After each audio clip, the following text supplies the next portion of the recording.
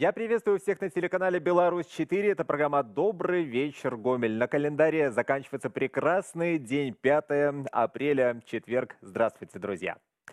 Значение фото в жизни э, трудно, да и, пожалуй, невозможно э, переоценить. Фото сопровождает нас везде. На дисплее мобильного телефона, в бумажнике, на экране монитора мы храним фотографии э, дорогих нам людей на рабочем столе в офисе. Да что там говорить, столько ленивый в современном обществе не делает пресловутые селфи. В общем, друзья, этим добрым вечером мы поговорим о значении фотоискусства в нашей жизни. Ну а в гости ко мне придут э, те люди, те специалисты, которые про фотографии знают все и даже чуть больше дальше. Ну, а также этим вечером и под ваши аплодисменты я рад приветствовать у нас в гостях великолепного музыканта, потрясающего исполнителя, прекрасного композитора и просто хорошего человека. Вячеслав Корса сегодня у нас в гостях. Ваши аплодисменты.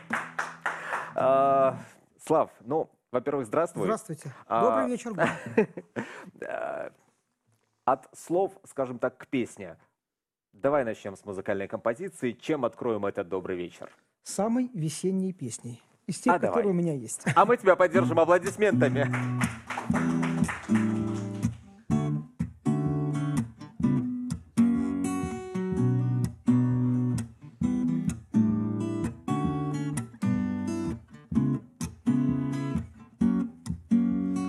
Так не бывает, ты пришла и говоришь, пожалуйста, вот тебе два мои крыла чтобы не знал усталости И ни в каких других краях Крыльев таких не сыщешь ты.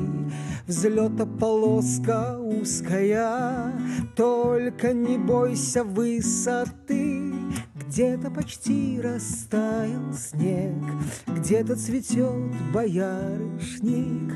Я же остаюсь на целый век С этой чудесной барышней, чтобы, обняв едва-едва, Бросив обиды давние, Я говорил бы ей слова Самые главные пам падам пам пам пам падам пам пам пам падам пам пам пам пам Так не бывает, ты пришла и отвела рукою грусть, а за спиною два крыла, а за крылами трудный путь.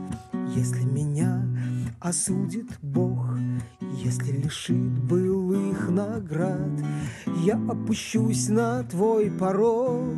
И несказанно буду рад тому, что уже растаял снег. И зацвели подснежники, тому, что живем с тобою век нежности, нежности чтобы, обняв едва-едва, Бросив обиды давние, Я говорил тебе слова Самые главные. Пам-падам-пам-пам, Фам-падам-пам-пам, Фам-падам-пам-падам-пам.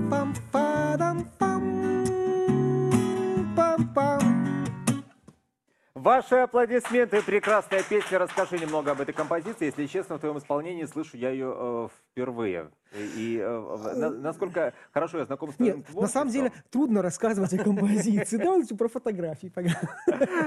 Ну, вот признаюсь честно, когда я слушал эту э, песню, вот невольно всплывал какой-то фоторяд, какие-то слайды, какие-то э, сюжетные линии. А вот э, сразу вопрос к тебе. Вот творческий процесс, написание э, музыки, написание э, текстов, потом получается песня. А остается ли что-то после творческого процесса материальное, то, что можно увидеть глазами? Я имею в виду, э, фотографируешь ли ты сам фото, э, э, процесс создания той или иной песни? Не, ну процесс создания песни не фотографируется. остается, знаешь, остаются ноты, остаются наброски на бумажках.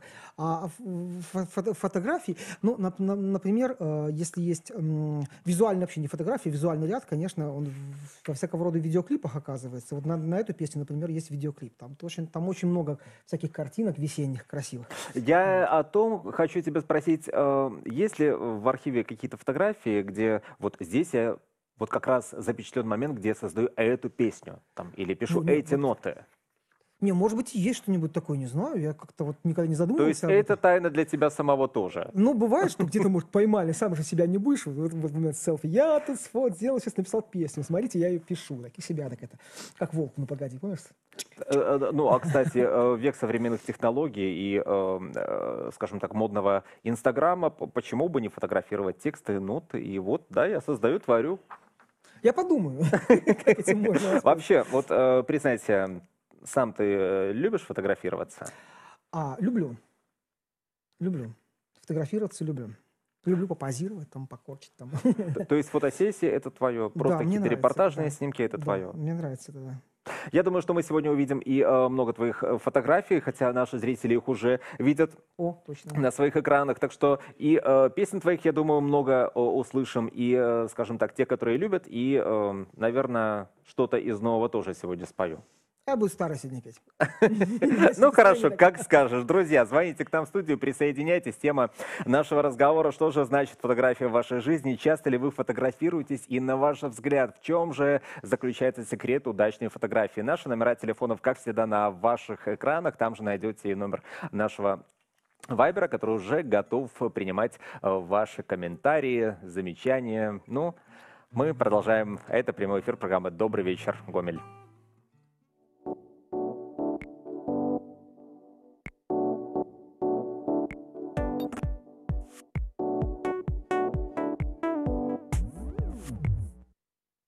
Друзья, наш прямой эфир продолжается. Это программа «Добрый вечер, Гомель». Сегодня мы не представляем свою жизнь без фотографии. Они окружают нас сплошь и рядом. Сделать фото для современного человека – это элементарнейшая задача. Но когда-то об этом могли только мечтать. Так вот, какими раньше были фотографии и кто были те э, люди, которые за- были запечатлены на первых, э, ну, скажем, гомельских фотографиях? Вот ответы на эти вопросы, уверен, найдутся в музее фотографии. Я с огромным удовольствием приглашаю к разговору моих гостей. Под ваши аплодисменты.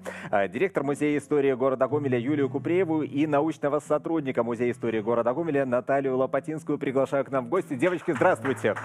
Рад вас видеть. Проходите, присаживайтесь. Спасибо. А, Вы знаете, вот музей фотографии, э, по-моему, Гомель единственный город, если это не так, поправьте меня, где существует такой вот уникальный музей. Совершенно верно. Единственный город, э, где находится государственное учреждение, такое музей истории Гомеля, обладает э, таким объектом уникальным, экспозиционным, как музей фотографии. И, кстати, недавно туда еще экспозиция, посвященная печати, тоже добавилась. А э, вопрос тогда, какие же тайны хранит э, музей фотографии и о чем рассказывают его экспозиции? Наши экспозиции хранят действительно очень много тайн, поскольку там собрана огромнейшая коллекция фотоаппаратов, фототехники за весь 20 век. А, Придя к нам в музей, э, можно увидеть и стационарные э, фотокамеры, когда такие, которые раньше были только в фотоателье. А, Конечно, там можно увидеть и э, старинные камеры начала 20 века, и за весь 20 век э, всевозможные фотоаппараты также можно увидеть. Кроме того, э, уникальные фотографии э, есть. э, э, Можно э, там, Уникальные фотографии именно города Гомеля и тех людей, которые жили безусловно, раньше, несколько безусловно. поколений, несколько, там, э, п- п- пару веков назад, ве- век назад. Ну, Какая век самая назад. старая фотография? Э, Ну, начало 20 века мы не скажем, что, ну, например, 1910, 13, 20, 30 и э, до сегодняшнего дня. В связи с этим, вы знаете, я хочу подключить э, к нашему э, разговору, к нашему вечеру наших э, зрителей. Друзья, у меня в руках пригласительный билет в музей истории фотографии. Сегодня вечером этот билет достанется кому-то из вас, но нужно правильно ответить на наш вопрос. А вопрос на сегодня будет такой. Расскажите, позвоните к нам в студию и расскажите, что же раньше располагалось в помещении, где сегодня размещается музей истории фотографии? Звоните к нам в студию, присоединяйтесь к нашей беседе. А, кто-то станет счастливым обладателем этого пригласительного билета и отправится на а, посмотреть своими глазами экспозицию, которая размещается сейчас в музее фотографии. Если в нашем городе появился такой уникальный музей. То есть я могу смело сделать вывод, что Гомель вполне можно назвать самым фотографирующим и фотографирующимся городом на территории Беларуси. Вполне можно так сказать. У нас огромное количество и фотографов есть. И э, недаром э, была собрана такая удивительная коллекция, которая сегодня есть у нас в музее.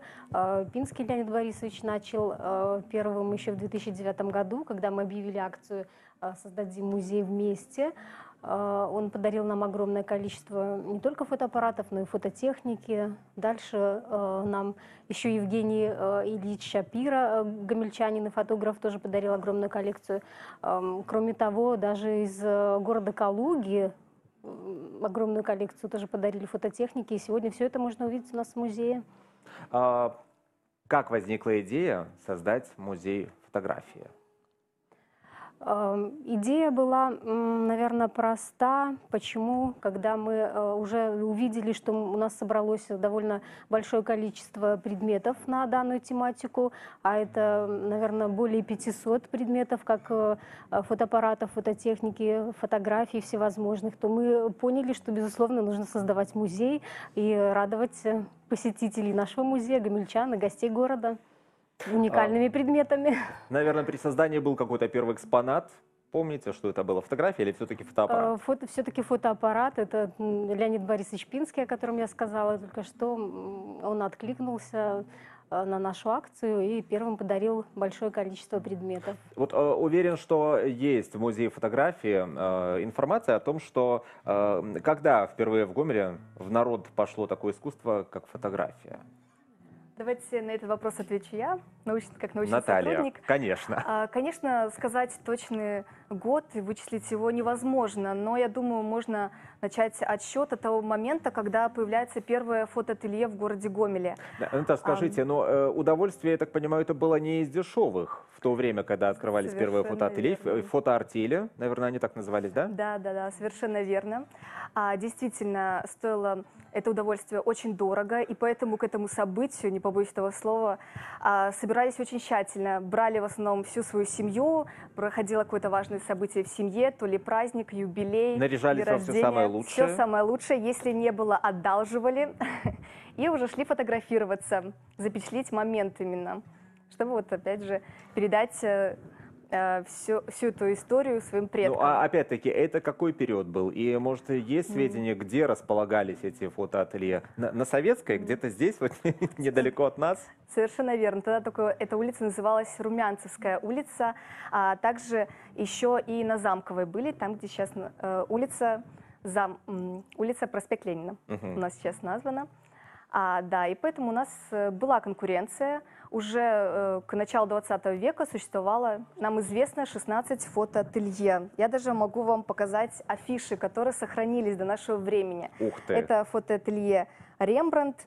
А, вот, дальше вот афишка фотоателье Левинмана, он как еще называлась центральная художественная фотография. То есть даже фотографию относили как а, к произведению искусства. Угу. Ну, ну так естественно. Я думаю, что это стоило огромных денег. И еще если у соседей одалживать все самое лучшее, чтобы в, в прекраснейшем свете появиться перед объективом фотокамеры, это же не то, что сейчас взял телефон и нащелкал огромное количество селфи. О них мы поговорим немножко позже.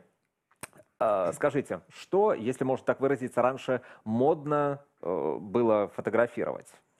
Вот так как существовали фотоателье, конечно, было э, модно фотографировать людей. То есть самый распространенный жанр – это портрет. То есть как раз-таки к созданию портрета относились очень щепетильно.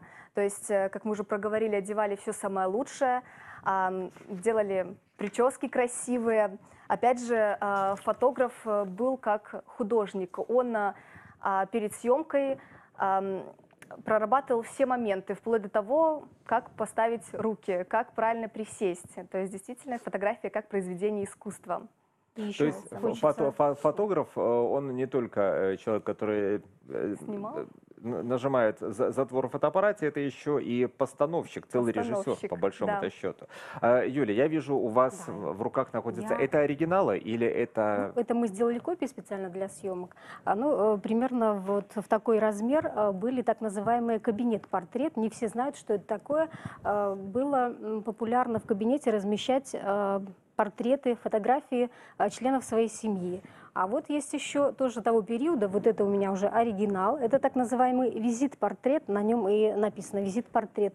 Вот Такие фотографии вручали в качестве подарков. Э, Сегодня, как мы вручаем визитки, а раньше вот такие визит-портреты вручали. Если я правильно понимаю, то визит-портрет тоже могли позволить себе э, далеко не все жители нашего города. Конечно, только те, у кого были деньги.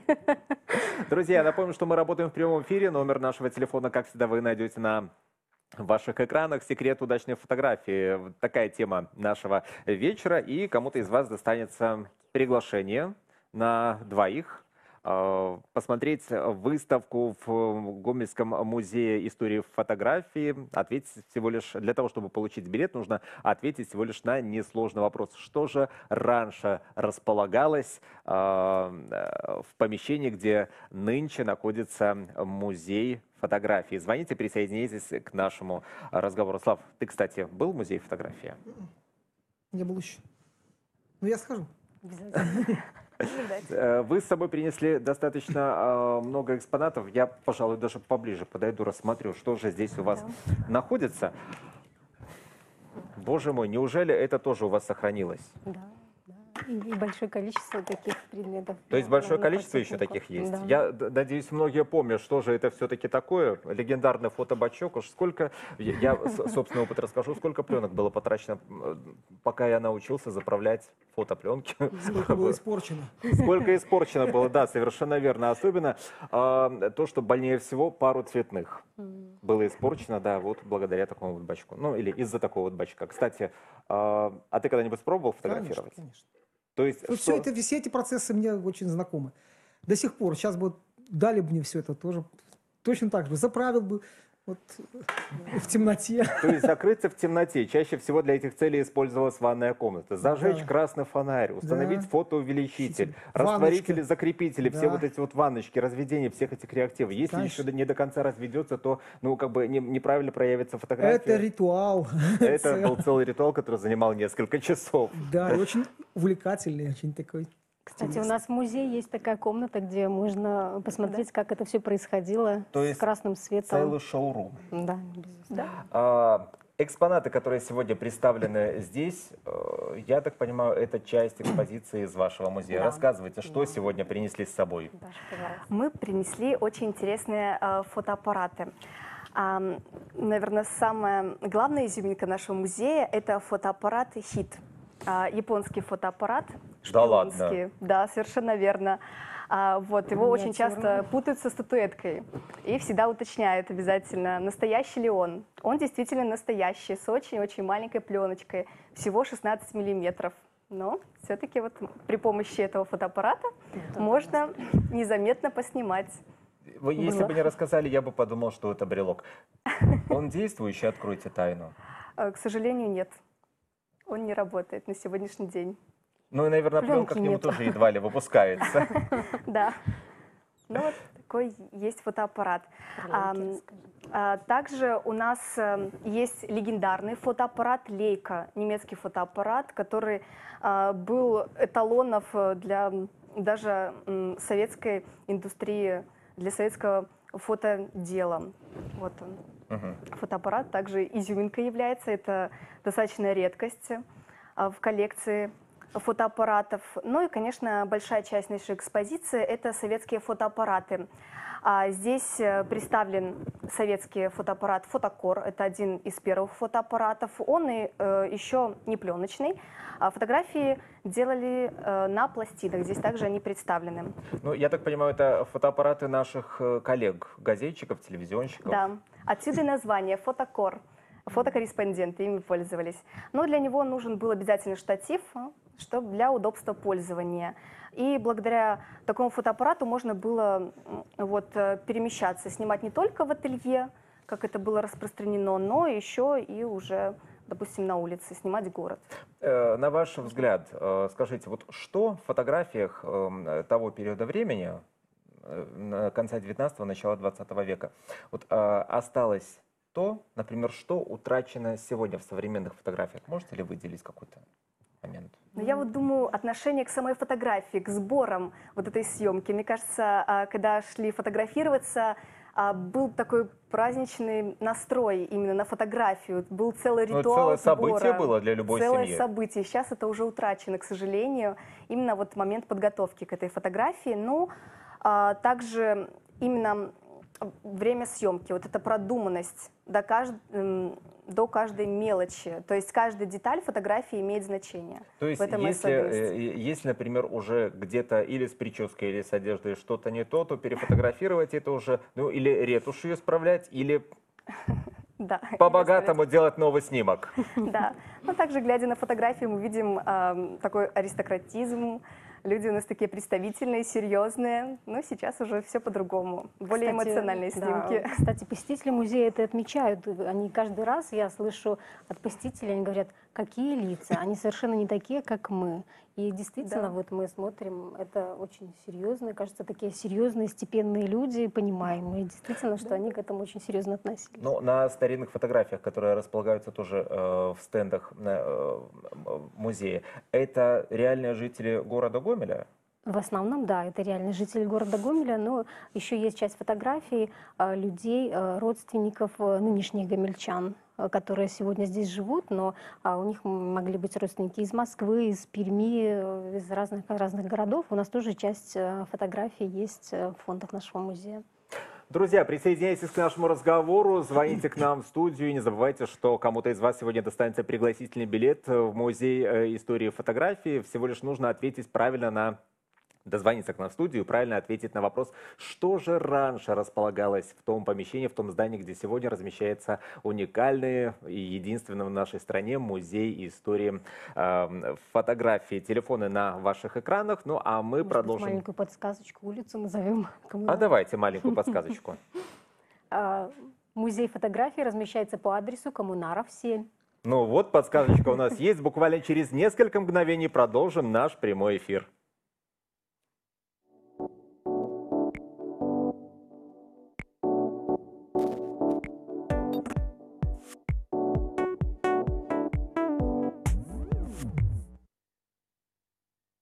По-прежнему в прямом эфире «Секрет удачной фотографии» тема сегодняшнего вечера.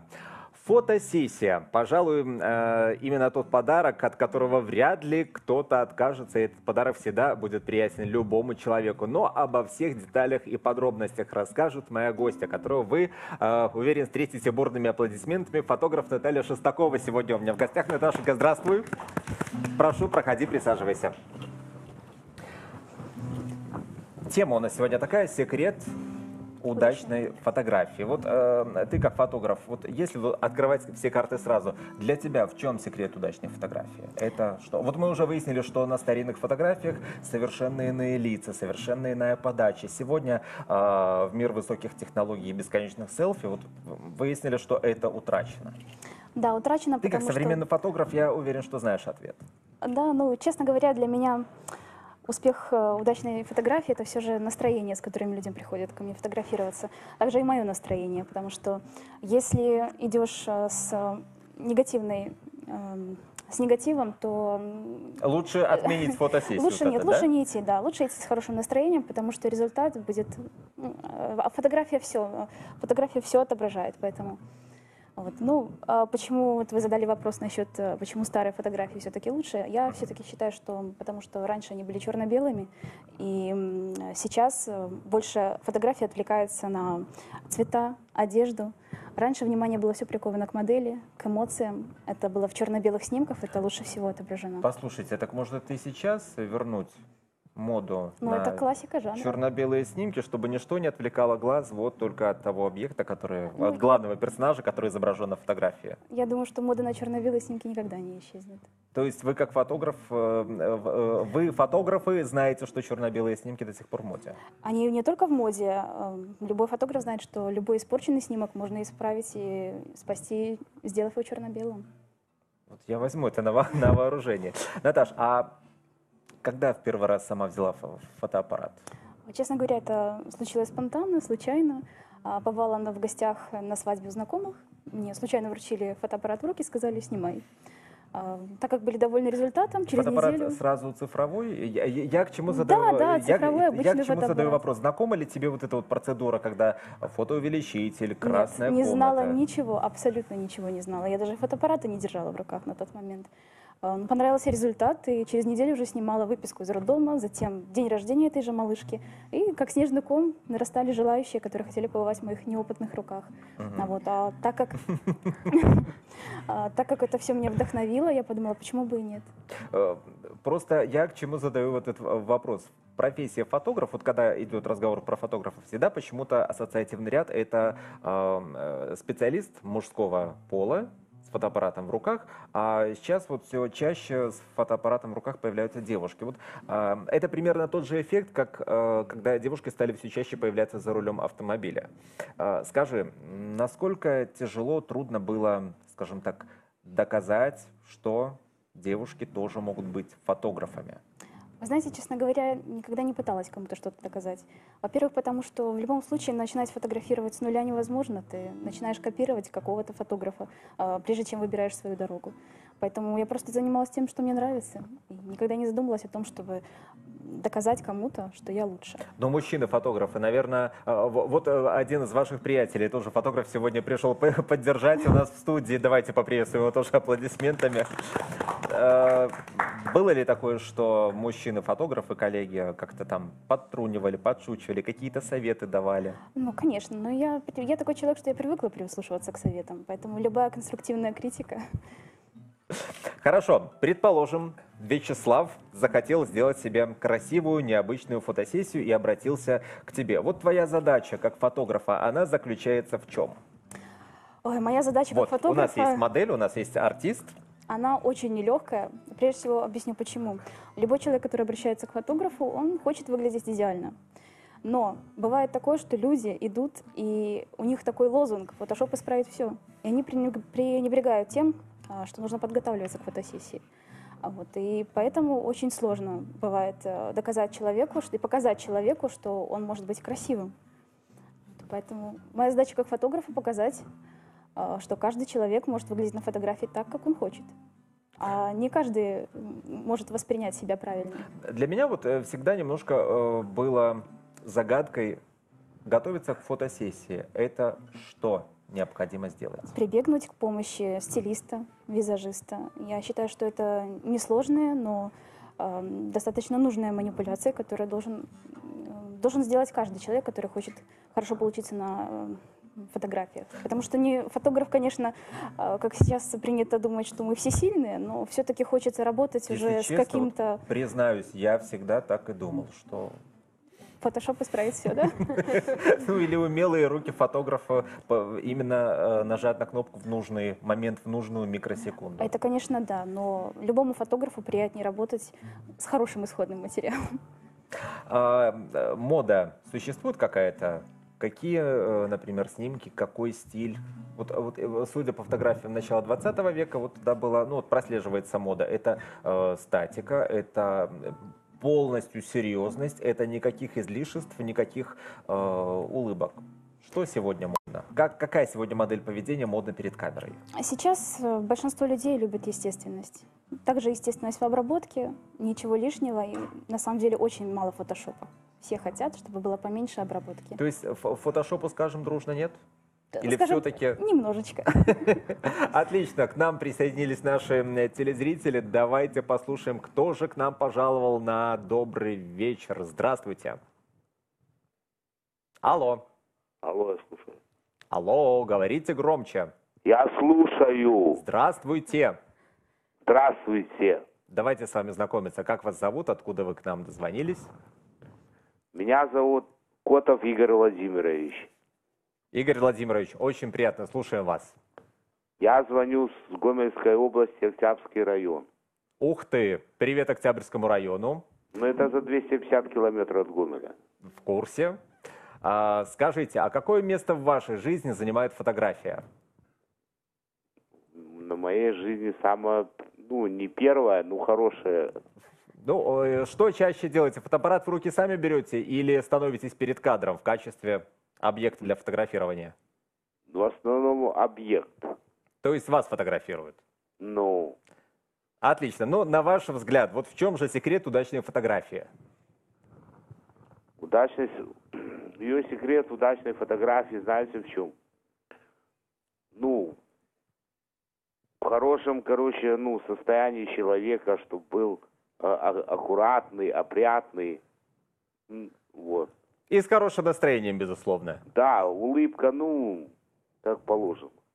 Отлично, спасибо вам за ваш совет, за ваше мнение. Но я же так понимаю, что не просто так вы нам позвонили. А, претендуете забрать этот билет у нас. Ну, так да, я ж передачу смотрю сейчас данный момент. Замечательно. Ну, подсказка у нас уже до э, небольшой паузы была. Итак, на ваш взгляд, ваше мнение, ваш вариант ответа. Что же раньше располагалось на месте Музея истории печати и фотографии Гомельщины? Это было давно. Безусловно, это было там давно. Был, там был музей когда-то. Нет, музей там сейчас находится. А, это что я перепутал. Не музей, а кинотеатр, видно, был. Ох, неверный это ответ. Э, Немножко территориально вы промахнулись. Не кинотеатр там располагался, так что, а, ну или э, в каких-то энциклопедиях посмотрите, ну или ждем следующего нашего э, зрителя, который ответит правильно на наш вопрос и кому достанется билет, пока что загадка даже для меня. А, в каком жанре предпочитаешь работать сегодня? Поскольку в основном я работаю с фотопроектами, на которые Мгм. приходят э, семьи и детки, то, конечно, мне близка больше семейная детская фотография. А Почему, объясню, детки, их практически невозможно заставить позировать, а тем самым на фотографиях выходят искренние эмоции, неподдельные. Э, Я их очень ценю. А, Кто самый э, капризный клиент? А, такие бывают разные. Ну, в основном это мужчины, которых женщины приводят с собой. Мужчины капризные? Очень не любители Нет, Слава, фотографироваться. ты слышал? Оказывается, мы самые капризные для фотографов, в частности, для фотографов девушек. Ну как такое может быть? Может быть. Ты подтверждаешь. Потому что, Надо на вас опробовать. ладно, Наташ, еще такой вопрос. Селфи можно считать фотоискусством, вот про которое я уже сегодня несколько раз упоминал? И не грозит ли, скажем так, эм, это потеря интереса к классической фотографии? Ну, знаешь, я очень просто субъективно отношусь к, э, к вопросу селфи. Я, это чисто мое мнение. Я очень не люблю это дело. Никогда не пробовала. Сегодня в студии был первый опыт сделать селфи. Мне кажется, что все-таки это... Подожди, я не поверил в то, что услышал. То есть Да. ты профессиональный фотограф сегодня в студии. Первый сдел- раз сделали селфи, да. Друзья мои, по-моему, это достойно аплодисментов. Поддержим Наталью аплодисментами. Как Очень, впечатление? очень не люблю это дело. И, честно говоря, мне кажется, что все-таки селфи подвержены люди, которые требуют, наверное, к себе очень много внимания. Внимание окружающих, которые зависимы от, чужих, от чужого мнения. И, наверное, все-таки самолюбивые люди. Эту тему продолжим немножко позже. Друзья, пока что хочу напомнить, номер нашего телефона располагается на ваших экранах. И пока что, эм, видимо, трудный вопрос попался. Что же располагалось раньше э, в том помещении, в том здании, где сейчас располагается музей истории фотографии? Звоните и пригласительный билет на двух персон окажется у вас. Сможете сходить, получить э, колоссальное удовольствие, а посмотреть в музей фотографии действительно есть на что. Можем еще одну подсказку. Давайте еще одну подсказку. Наш музей находится напротив Вечного огня. Напротив Вечного огня. Что Значит, же там было раньше? значит Советское улица, Коммунаров 7. улица Коммунаров 7, музей располагается напротив Вечного Вечного огня. огня. Друзья, у нас уже две подсказки есть, поэтому звоните к нам в студию, и мы готовы вам отдать пригласительный билет, но за правильный ответ. А ведь каждая фотография, если рассудить, это целая история. Одна фотография способна рассказать целый сюжет с завязкой, кульминацией и развязкой. Э, Слав, я знаю, что у тебя есть много таких фотографий с Мгм. историями, но об этом и не только поговорим сразу после рекламы, окей? окей. Не переключайтесь.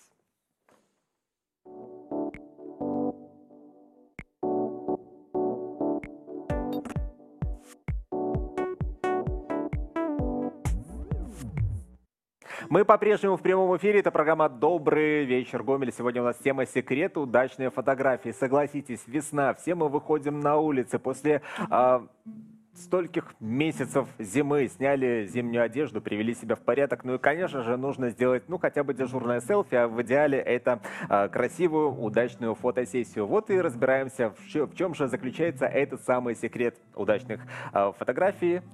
У нас есть телефонный звонок. Давайте послушаем, кто же присоединился к нашей вечерней компании. Алло. Алло, здравствуйте. Здравствуйте, давайте с вами знакомиться. Вы откуда?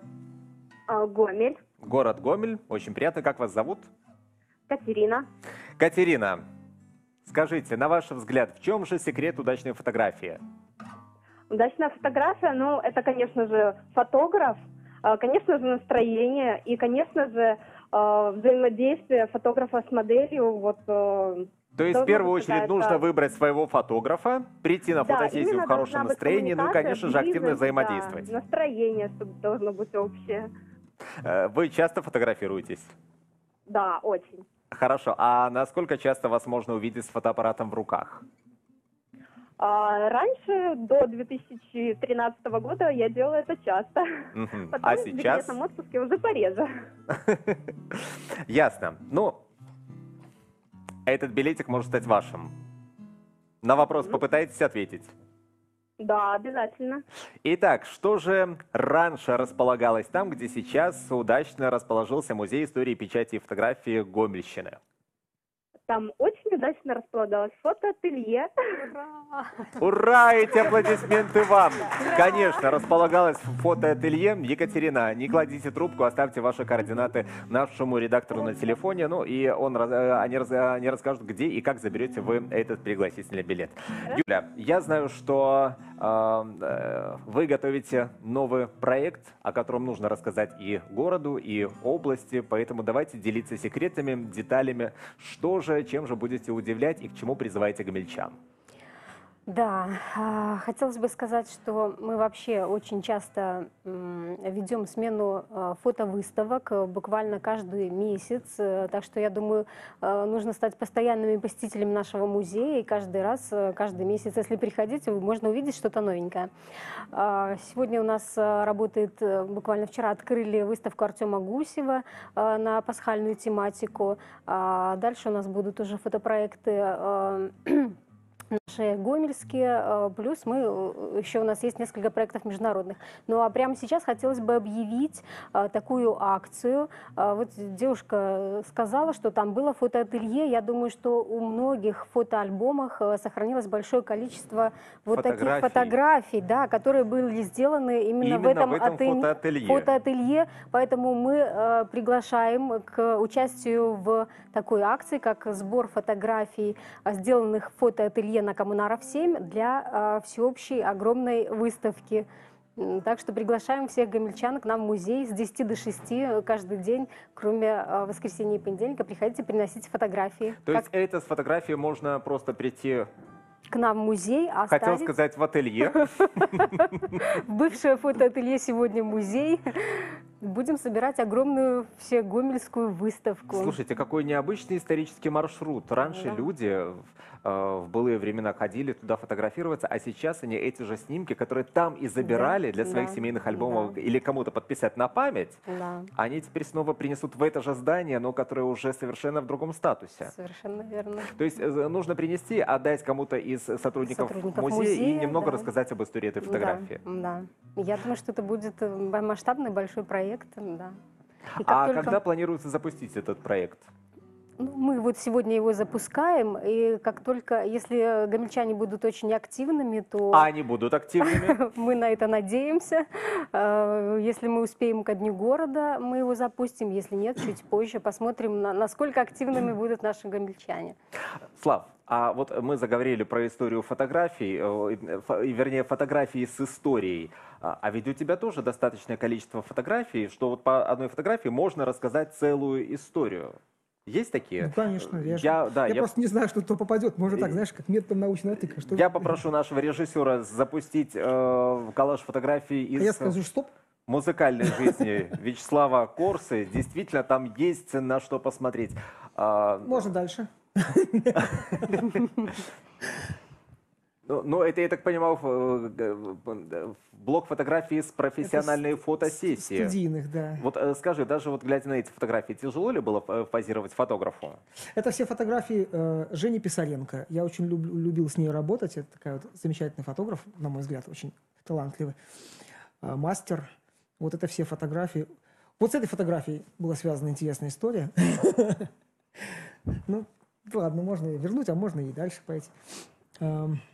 Вот, это вот, да, это все фотографии Евгении Писаренко.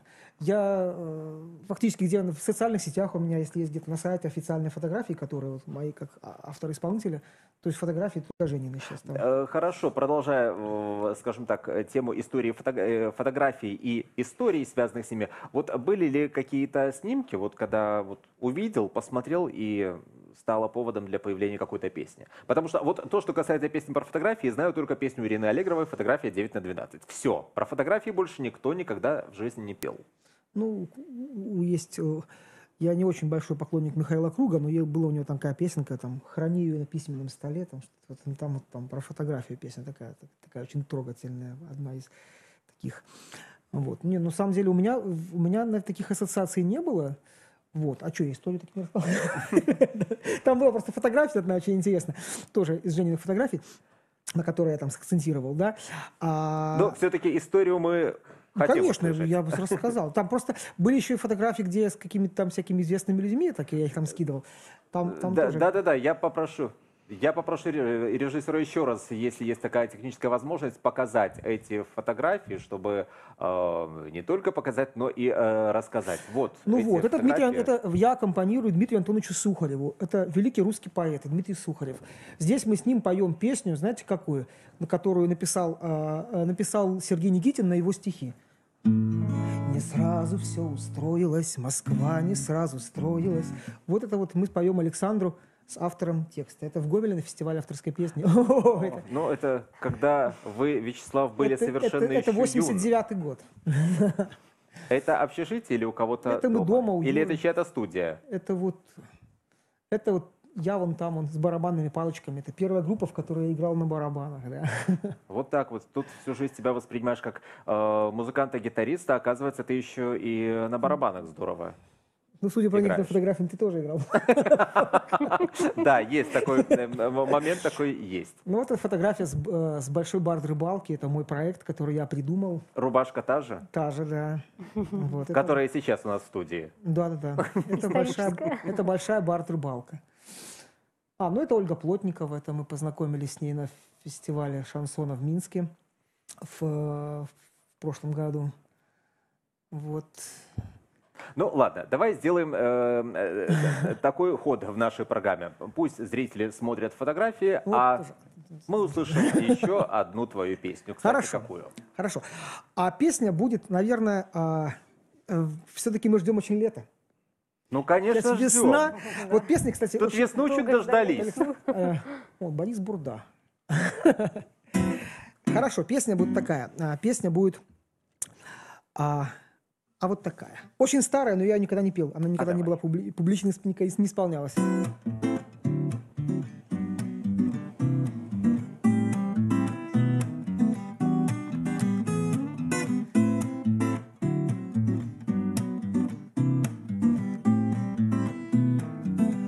Два Климовича. Что-то в моей жизни все не то и все не так. День похож на день, и ничего не происходит, Только вечерами подступает пустота, И болит колено к непогоде, А в окно стучится запоздалая весна. Ото сна очнусь и расчехлю свою гитару, Знаю я, понять меня сумеет лишь она, А с тобою мы давно не пара. Где ты? Шум. На вопрос резонный не найти ответ. Лето с привкусом шансона За июльским солнцем я спешу к тебе За июльским солнцем я спешу к тебе Па-ба-пам, па-да-ба-пам, па-да-пам, па-пам. Знаешь, я ушел лишь потому, что первый шаг делать не пришлось тебе. Мы оба виноваты. В доме у меня живет бездомная душа, а на ней заплата на заплате. Майскими ночами я выгуливал ее, не давал остыть, берег от солнечного света, Чтоб не позабылось ей, как правильно любить. А сейчас меня встречает лето, где ты шум Забыл кусок слова, знаешь. Мы поддержим тебя аплодисментами. Не найти ответ. Лето с привкусом шансона, хриплым саксофоном я вернусь к тебе. Хриплым саксофоном я вернусь к тебе. И тут я саксофон имитирую. па ба па ла па ба па па па па па ла ли ли ти па па ба па па па ба ба па па ба пам па па ба па па ба па пам па ба па пам пам Где пам там да дам там падам На вопрос резонный не найти ответ. Лето с привкусом шансона За июльским солнцем. Я спешу к тебе За июльским солнцем я спешу к тебе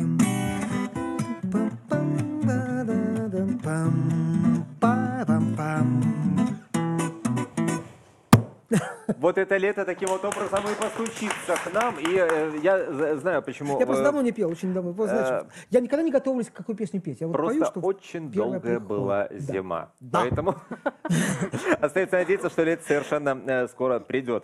Э, Итак, друзья, секрет удачной фотографии, напомню, тема нашего сегодняшнего эфира.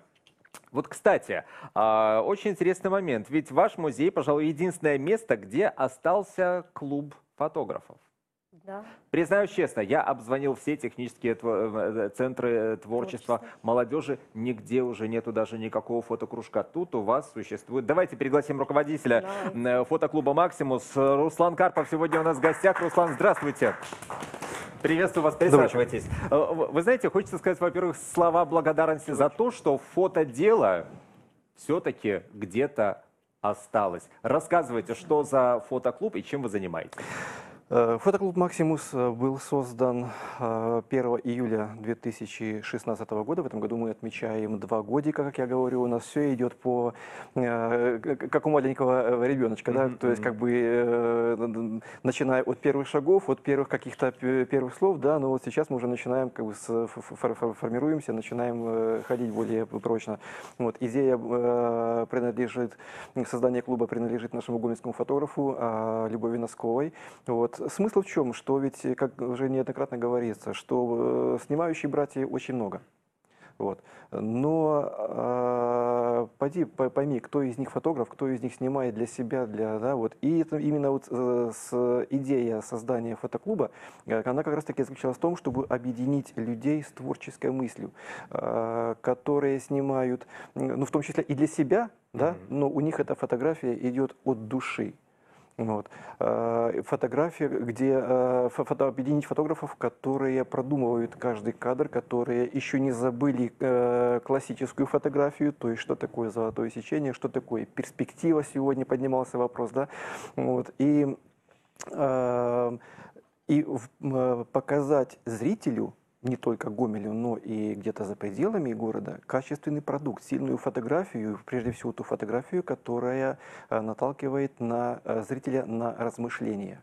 Ну хорошо, а, то, что касается фотопроизводства, а э, не вытесняют ли, например, цифровые технологии сегодня? Я к чему? А осталась ли, например, в фотоклубе такая практика, как те же самые фотоувеличитель, красная комната и все, вся вот эта вот магия, которая, которая раньше являлась э, фотопроизводства? Э, Наверное, сегодня эта магия как раз-таки и движет э, нашими помыслами в организации, в подборе э, фотопроектов, вот, потому что, к сожалению, цифровая техника и проце- э, технологии сегодня развиваются, и, к сожалению, этот процесс, наверное, он уже ну, необратим. То есть, если мы еще где-то 15 лет тому назад у кого-то из фотографов стоял вопрос, стоит ли переходить на цифру, то сегодня это уже, э, увы, э, м, требования времени, потому что, к сожалению, такие мировые лидеры э, производства пленки, как Кодек, они уже официально заявили о том, что они отка- отказались от производства пленки.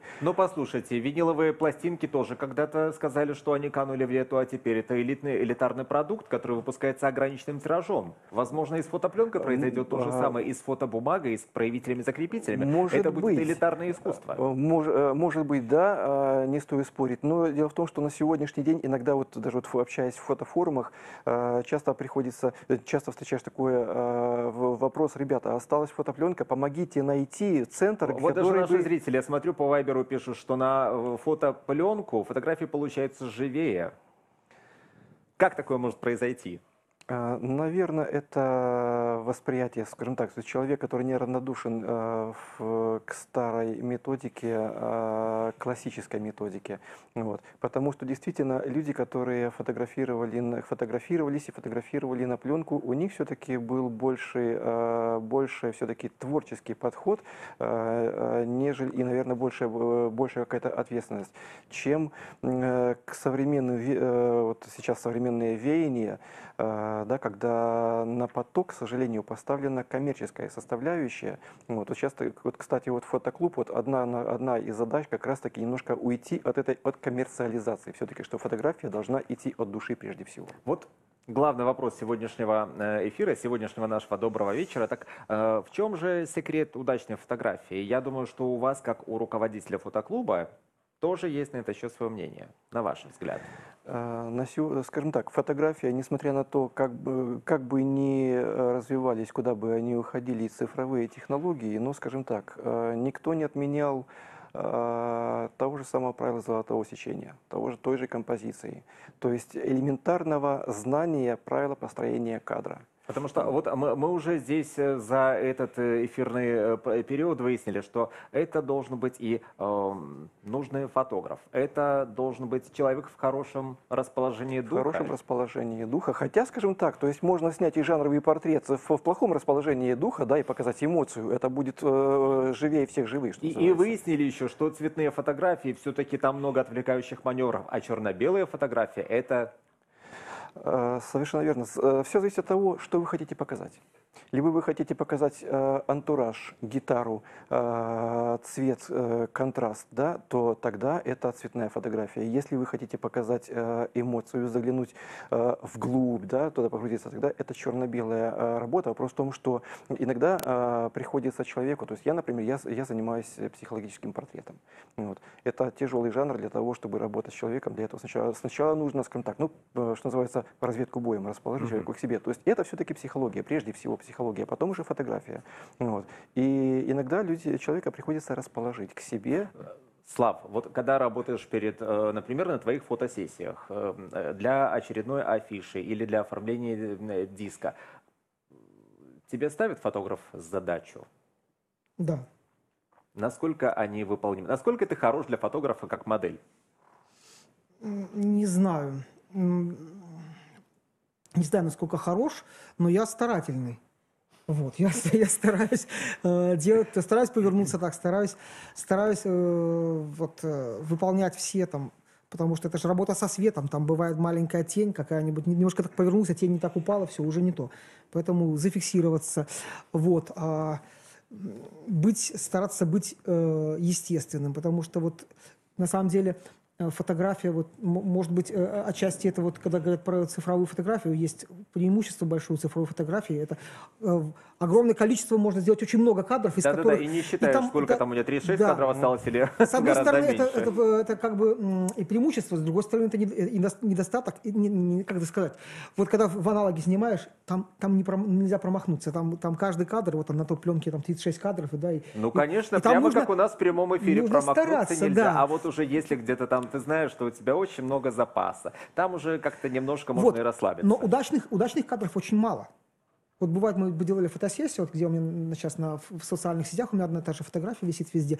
Вот, и на афишах эта фотография, потому что она удачная. Но вот из, из фотос- фотосессии было порядка дву- двух сотен фотографий разных. И это единственная фотография, которая, которая прошла там отбор. потому что мы выбрали именно ее, потому что она соответствует вот внутреннему состоянию.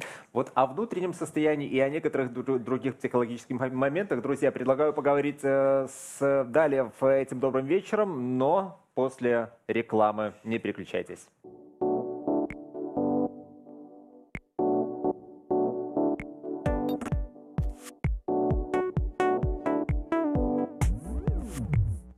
Продолжаем наш эфир на телеканале «Беларусь-4». Друзья, сегодня мы разбираемся в таком немаловажном вопросе. В чем же заключается секрет удачной фотографии? Согласитесь, удачную фотографию, красивый снимок каждый захочет получить себе. Разместить в соцсетях или просто, чтобы она хранилась в вашем семейном фотоальбоме. Но еще один важный момент. Довольно часто можно услышать, и я думаю, что фотографы в этом отношении меня э, поймут и поддержат. Я плохо получаюсь, я не фотогеничен, ну и так далее. Друзья, так вот, как же справиться с этими э, делами, с этими проблемами и где найти ответы на эти вопросы, подскажет наш следующий гость. Сегодня у нас наш психолог Степан Станибула. Степан, здравствуй, эти аплодисменты тебе, привет. Добрый вечер, Александр. Присаживайся. Вот э, вопрос такой, как же изменилось, э, возможно, психологи дадут ответ на этот вопрос, как же изменилось, э, скажем так, сознание э, людей с приходом такого вот а, большого прорыва фотоиндустрии, когда у каждого есть мобильный телефон, можно сделать какую-то э, фотографию э, при любых э, обстоятельствах. Ну, о том, как изменилось сознание, говорить трудно, да. Мне кажется, это еще ждет своих исследователей, экспериментаторов и так далее. Но То можно... есть явление новое, еще не до конца изученное. Да, и говоря. только вот, вот буквально недавно э, в Америке селфи-аддикция, да, мы будем еще об этом сегодня говорить, она признана психическим расстройством. Да Буквально ладно? недавно, да. То есть Да, да, селфи-аддикция это официально, это есть такое, есть такое психическое расстройство. Познакомьтесь, как, как говорится. Э, То есть убираем э, мобильные телефоны в сторону и э, стройными рядами идем в нормальное фотоателье делать нормальные фотографии. Ну, э, разг- э, э, ну, не совсем так. А, То есть там есть определенная симптоматика, да. Например, если человек там более трех раз делает селфи, выкладывает в социальные сети, это уже как один из симптомов. Или, например, когда человек идет и в экстремальных условиях совершает, да, вот селфи это делает. Мы все помним вот недавний случай, который произошел в Москве, когда девушка выстрелила в себе в голову из травматического пистолета, пытаясь сделать селфи.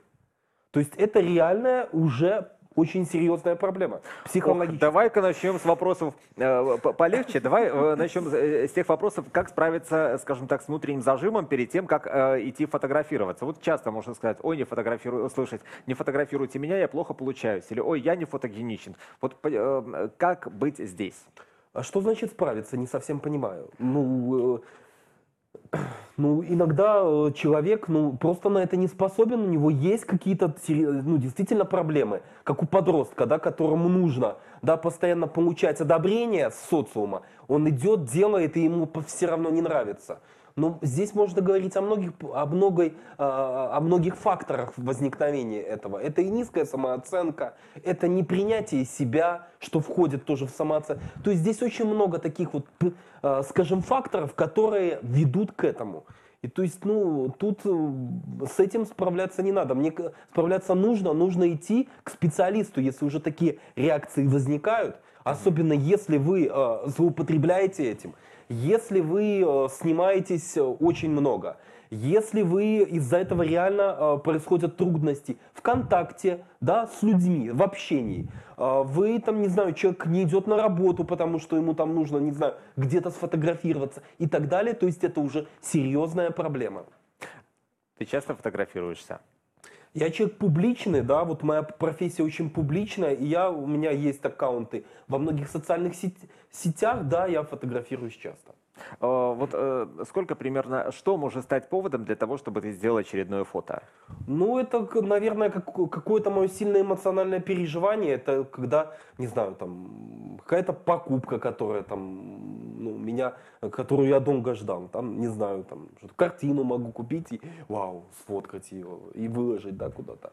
Там новые места, где я бываю, да, люди, наверное, люди это самое главное, да, там прогулки с собакой, то есть много таких вот вещей, которые вызывают очень у меня. Но вернемся, э, скажем так, к этому напору, с которым ты ворвался к нам в студию, это повальное увлечение селфи. Вот если э, подумать, ну селфи, это просто э, фотографирование самого себя на мобильный телефон. Что здесь плохого? Ну, Саша, когда человек э, э, с желанием сделать хорошую фотографию стреляет себе в голову из травматического пистолета, то есть, ну, это как-то так, это уже опасно. Как быть? Ну, вот в этом случае... Что мир психологов может нам В этом случае э, справиться с аддикцией, да, как мы называем, да, это так называемая селфи-аддикция, это идти и работать со специалистом. То есть, ну, по большому счету, если говорить так открыто и без прикрас, табакокурение, алкоголь, селфи и селфи. Это фактически в одном ряде уже стоят эти вещи. То есть это уже приравняли к вредным привычкам. Зависимостям скорее. Это зависимость. Селфи – зависимость. Как алкогольная зависимость, как табачная зависимость и так далее. Хорошо, перейдем в нормальное русло. Все-таки вот как э, э, тот вопрос, который я задавал и э, пытаюсь на него э, получить ответ. А, Ну, согласен, что есть у некоторых людей в какой-то степени, может быть, боязнь камеры, боязнь фотоаппарата, а, боязнь стать перед э, объективом и начать позировать для того, чтобы на самом деле получились хорошие снимки. Как здесь быть? Как убрать вот этот вот внутренний зажим и довериться фотографу и фотоаппарату? Ну, тут можно говорить об этом, но э, на самом деле причин этого очень может быть э, очень много. Например, там женщина, которая не хочет, снима, не хочет сниматься э, там, в возрасте, не знаю, там, э, 45 лет, а в 20 она хотела это делать. То есть тут возрастной аспект может быть, да, ключевым. Кто-то просто не любит свои фотографии, так как считает, что он не, фотогени... не фотогеничен. Кто-то, кому-то не нравится по другим причинам. Тут вот все надо вот к человеку идти. Почему? Вот а, актуализировать эту причину. Почему? Ну и мне кажется, оставить каждому человеку выбор, по большому счету. Не хочешь, не надо. На твой взгляд, с точки зрения психологии и психолога, в чем же секрет удачной фотографии? Ой, хороший такой вопрос интересный. Я вот размышлял над ним вот э, целый час, пока шел эфир. Вот здесь э, специалисты говорили о том, что эмоции, переживания. Вот, э, ну, я пришел к выводу, что это вот э, какая-то вот, наверное, связь э, фотографа и человека, который, э, которого фотографируют, и вот это вот какое-то спонтанное, да, одновременное переживание чего-то. Вот знаете, когда вот люди на одной волне, и когда вот это происходит, вот это волшебство, только тогда вот, э, мне кажется, вот способен роди, способно что-то родиться. Я вот всегда вспоминаю, как вот э, хорошие фильмы, когда снимали, да, там и режи- режиссеры говорят, вот вы знаете, мы, я с актером был просто в одном состоянии, я с ним жил эту, проживал эту роль. И эти фильмы считаются гениальными, да, общими, общепризнанными. То есть мне кажется, вот с фотографией то же самое. Тогда, когда вот есть вот это взаимодействие, вот э, фотограф чувствует, вот настолько чувствует, да, человека, которого он фотографирует, и сам человек готов идти в эти эмоции, в переживания, тогда вот, мне кажется, э, фотография будет То есть, если я правильно волшебной. Я бы понимаю, сказал бы так. Если я правильно понимаю, то фотограф, э, который смотрит э, в объектив своего фотоаппарата и э, работает с человеком, будь то профессиональная модель или просто э, обычный прохожий, фотограф тоже должен быть психологом. но он должен быть человеком, способным эм, очень хорошо адаптироваться к любому клиенту, потому что люди бывают разные. Кто-то зажимается, кто-то наоборот. То есть вот способен вот чувствовать человека и вот входить с ним вот в это вот ну, таинство, волшебное, вот в это во- волшебное взаимоотношение с друг другом. Ох, друзья, подводя итог сегодняшнего вечера, вы знаете, вот э, пришел я к таким очень хорошим результатам. Во-первых, наш город э, еще раз подтвердил статус уникальности в том, что э, с древних времен он самый фотографируемый и фотографирующийся. Недаром именно у нас в единственном городе в стране э, существует благополучно музей фотографии. Э, мы выяснили некоторые секреты фотоискусства. Это может быть и черно-белая фотография, это может быть фотография на пленку, ну и э, Нужно вместе сотрудничать и модели, и фотографы для того, чтобы получилась хорошая фотография. Ну и вы знаете, наша встреча это не случайно. Накануне летнего сезона наконец-таки пришла весна, и я думаю, завершить этот вечер, конечно же, нужно песней. Что Летней. исполнишь? Летний. Ну, так, летняя песня, летняя песня уже была. Ну, не осенний же. У меня еще немного летних. У меня вообще летняя песня. Итак, что за композиция? Песня называется «Заблудившееся лето». Ну, дай бог, чтобы в этом году оно не заблудилось. Ну, оно практически не заблудилось. Ты вот э, на- на- начинай вступление, а я лишь хочу напомнить, что завтра будет еще один вечер, и он, безусловно, будет добрым. Так что на этом наш добрый вечер на телеканале Беларусь 4 сегодня плавно подходит к завершению. А завтра будет новый вечер. Смотрите телеканал Беларусь 4. На сегодня все. Удачи вам. Слушаем Вячеслава Клопсова.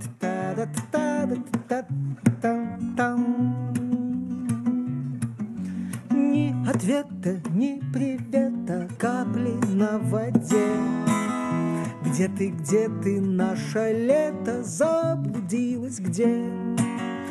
Перепрыгиваю лужи, мокрый от обид. Я тебе совсем не нужен и давно забыт. Мне бы только счастье дольку ухватить за край, а толку мы вдвоем с дождем подождем. Нас ведь даже нет в пейзаже, как художник лих. Можно было как фотограф лих. Что кто виновен в этой краже, кроме нас двоих?